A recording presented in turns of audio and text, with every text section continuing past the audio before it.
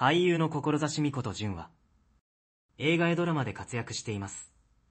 彼の甘いマスクと整った顔立ちから、彼がフィリピンのハーフであると言われています。彼は確かに美形なので、そのように思われても不思議ではありません。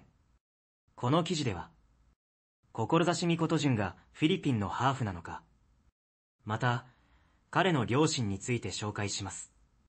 子孫順はフィリピンのハーフ、志美子と淳さんはフィリピンのハーフではないです。画像は志美子と淳ハーフ。事務所のウェブサイトを見ると、志美子と淳さんは東京都出身とされています。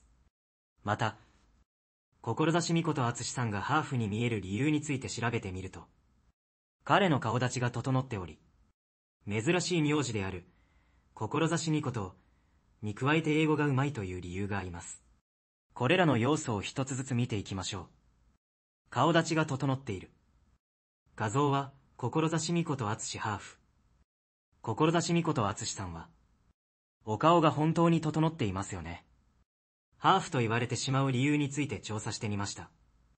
目がパッチリしていて、顔の彫りが深く、鼻筋が通っているし、まつげも長く、眉毛もしっかり生え揃っています。確かに、目はパッチリと開いているし、鼻筋も通っています。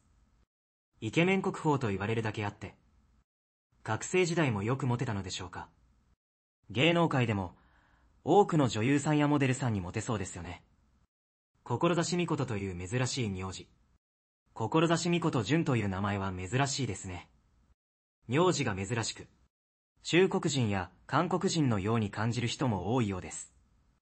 調べてみると、フィリピン人の姓に、子孫というものがあります。それがシナ起源で、四孫という意味だそうです。噂では、それを名字にしたのではないかと言われています。日本全国で見つけるのは難しい名字なので、そう思われるのも無理はありませんね。英語がうまい。三つ目の理由は、英語が非常に堪能であることです。神木隆之介くんがスタジオで、純は英語がうまい、と話していて、それを見てびっくりしました。X に投稿されていた動画を見ると、彼の英語の発音はとても流暢です。中学3年生の頃には、英検2級を取得していたそうです。中学の時から彼は英語が得意だったんですね。すごいですね。かっこいいですね。らんまん。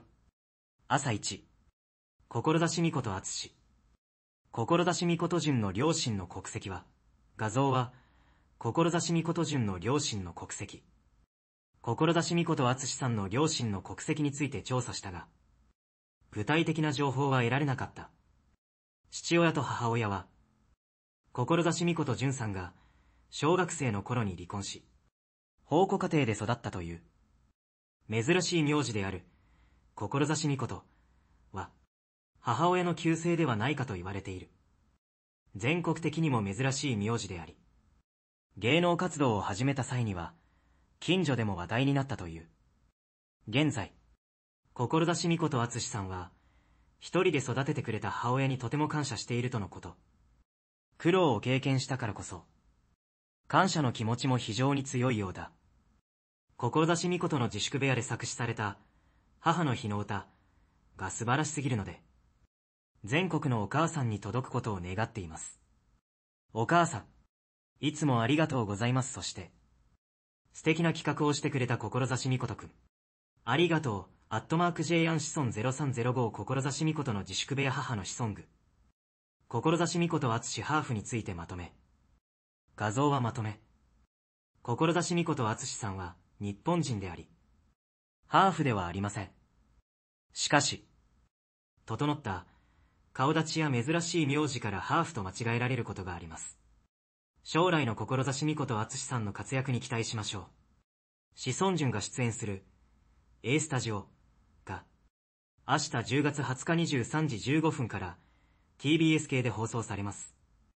今回、A スタジオ、約5年ぶりに登場した志美ことは、2021年に急性心筋炎を患い、長期療養を経験しました。病気の予兆、入院、過酷なリハビリ生活などを振り返り、大病を経験したからこその思いを語ります。番組では、吉川浩二への取材も行われます。志みことは、吉川から心配され、世話をされているため、吉川を、お母さん、と呼んでいるそうです。吉川は、志みことを褒め言葉として、人たらしと呼ぶ場面もあります。さらに、神木隆之介と堀井新からも話を引き出しました。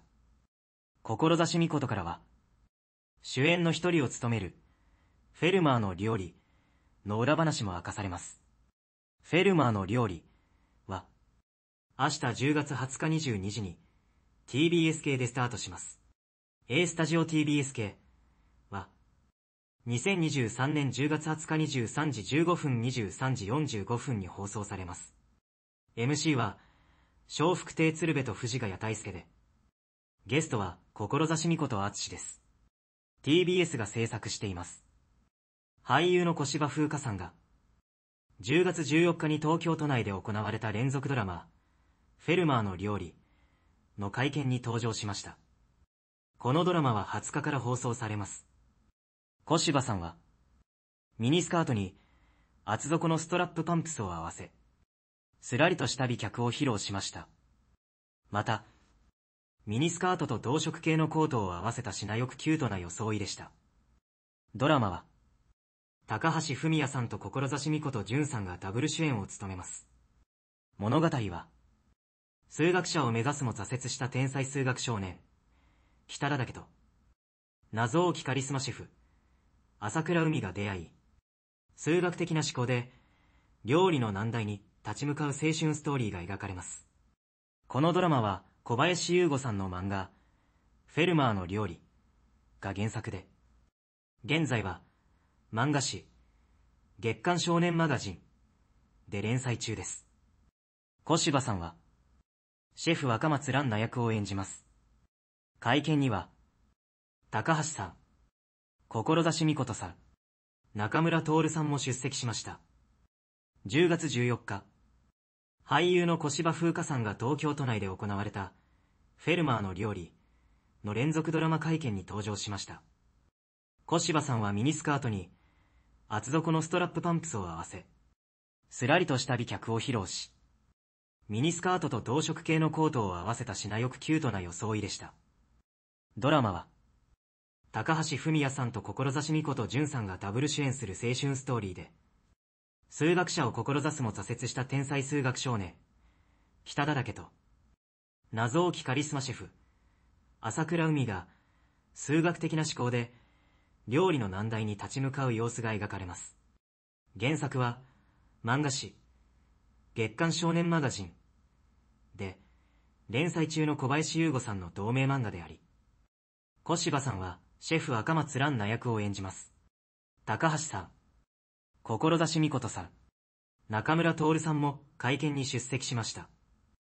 小林優吾さんの同名漫画が、原作の漫画誌、月刊少年マガジンで連載中。小柴さんはシェフ若松蘭奈を演じる。会見には高橋さん、志美琴さん、中村徹さんも出席した。秋はテレビ番組が大幅に変更され、人気のドラマが集まる季節です。新シーズンの人気シリーズはもちろんですが、各局が独自の作品を作り出しています。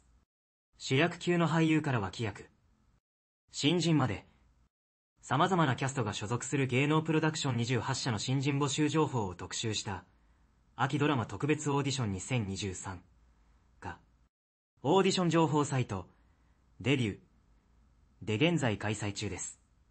ブラックファミリア新道家の復讐、出演の星野夢奈が所属する V アズも参加しており、新人を募集しています。